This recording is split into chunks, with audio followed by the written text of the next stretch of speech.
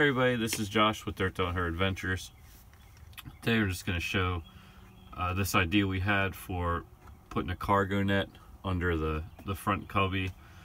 Just because when you're sleeping and like you come in with a jacket or pajama pants or anything you wanted to kind of keep uh, accessible, uh, this seemed to be the best location for it. So uh, it's really simple. We just ordered a cheap cargo net off Amazon and then bought four of these uh, mirror hangers. Um, they're just like the kind, it's kind of like a little uh, Z bracket, I guess. And then um, literally just stretch the cargo net to figure uh, where would be the best place to, to drill these in. And then, um, so that could be different depending on what cargo net you have but uh, just enough that you can stretch it and just slip it right over that loop. So it's super easy to take down if you want to take it off. And then just as easy to put up. The one we had was a little bit bigger and had um, had these hooks.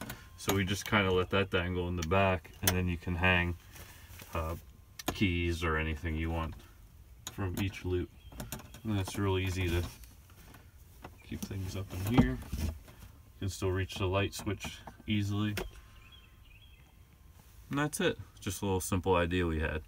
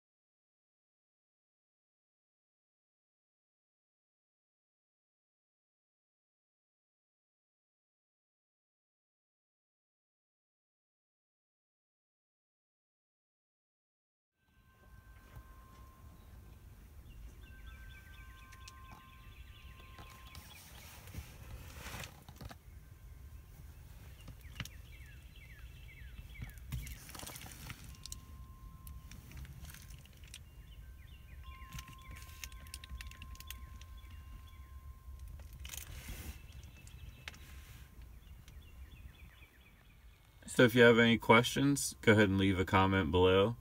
And uh, don't forget to like and subscribe. Thanks again.